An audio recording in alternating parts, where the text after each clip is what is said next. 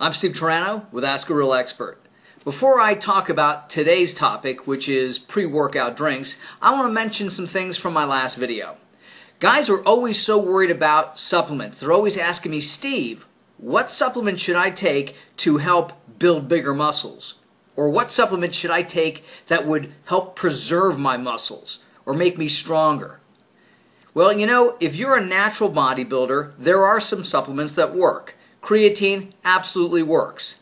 NO2 supplements like L-arginine or L-arginine alpha-ketoglutarate, they work. They're hemodilators, they dilate the blood vessels, delivering more blood, nutrients, and oxygen to the muscle. Same principle that works with Viagra.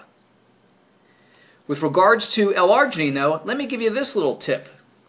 You can take L-arginine and it's a lot cheaper than a lot of those NO2 products like NO Explode, which is a combination, I believe, of creatine and arginine. But if you mix L-arginine with citrulline, it becomes more effective. You can buy them separately. Some supplement stores sell them in one pill.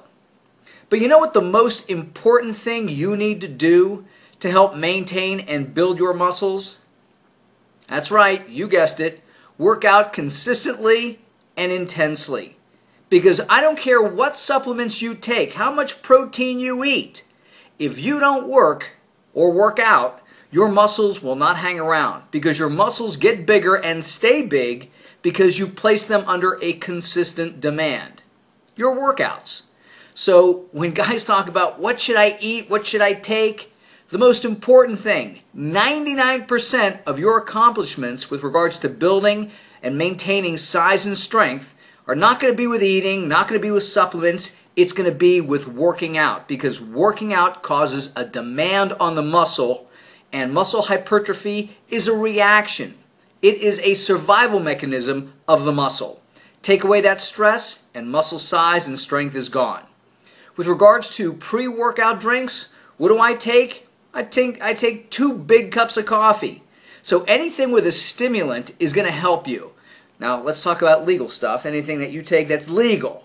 I don't know if ephedra is illegal in the United States or the rest of the world. I'm not sure. I don't care. I like coffee. If you like these energy drinks, Red Bull, Monster, whatever works for you, hey, do that.